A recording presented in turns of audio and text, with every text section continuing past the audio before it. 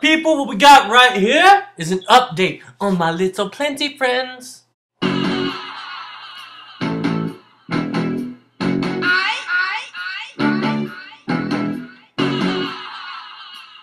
I'm gonna hit you guys with a fun fact, and that is I actually had all the videos made for the rest of that week. Like you guys saw in uh, one of my videos, I went out of town and I pre-recorded everything and actually did the audio while I was there, but I did it in the 20 in 20 degrees out in the snow in the middle of the day sitting outside with my laptop just talking to it in front of my family. All my cousins were clowning on me and I did that so I could keep on track with this with this schedule I've created. And unfortunately I was on a military base and I don't know my cousin said the the radars are probably messing up the signal and such. It just would I couldn't do anything on the internet. Like almost I could almost do nothing. Like upload wise or Instagram wise or anything wise like that. So sorry for that. Um gonna do this video now. And uh, just so you know, I'm gonna catch up on all the videos.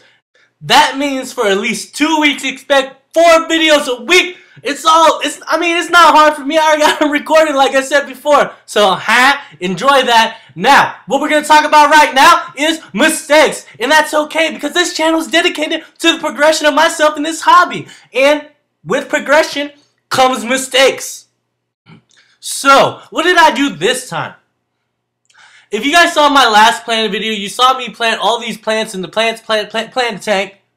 And I Buried the rhizomes, the rhizomes, the that thick, that thick caterpillar-like vein that runs along the uh, Java fern in Anubias. That's not supposed to be buried. I buried it. I made a mistake. Thank you guys for pointing it out. Thank you, thank you, thank you. Because of that, I was immediately able to just just kind of shimmy it out, make sure that the roots are still in, but that vein, that main vein, was not.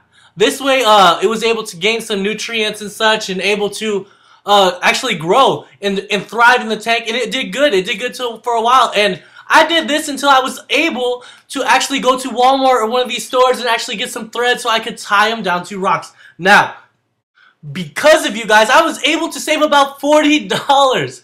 And as you guys know, a penny saved is a penny earned, so thank you for making me 40 bucks. So, what I'm doing right here is actually, uh, actually I've removed the plants that I wanted to take out, the Java fern. I left the Anubias because when I got them, they were about the size of a quarter, and I was actually unable to fully bury them. So what I did was just kind of shove the roots into the gravel, and they're doing great. So I'm gonna leave those alone. There's no point in messing with something that you that's that's doing great, right? I don't think so. So actually, I just kind of took the Java fern, found the flattest rocks I could find. Now, what I did was actually take the Java fern, tie it to the rock, and the reason I'm doing this is because I wanted to give the illusion of being buried without being actually buried. So the flattest rocks allow me to bury the rock, except for the little bit that the root or that that that uh, thick vein is actually out.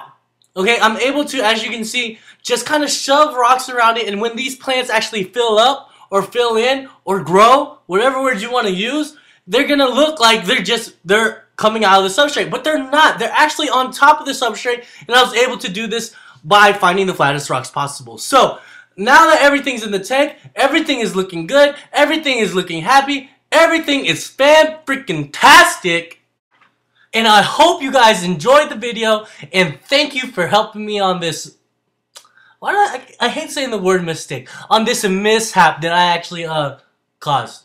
So, please leave a comment below. Let me know exactly what that that that vein is called.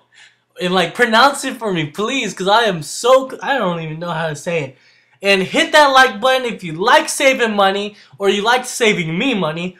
And uh, subscribe. I got videos coming at you at least three times a week for the month of Mizarch. And check out the Facebook, Instagram, and Tumblr. And above all else, do amazing things like attach a Nas to a turtle and then put it in a turtle race. Until next time, guys, take like a boss. Cause you're a boss, and that's how bosses take.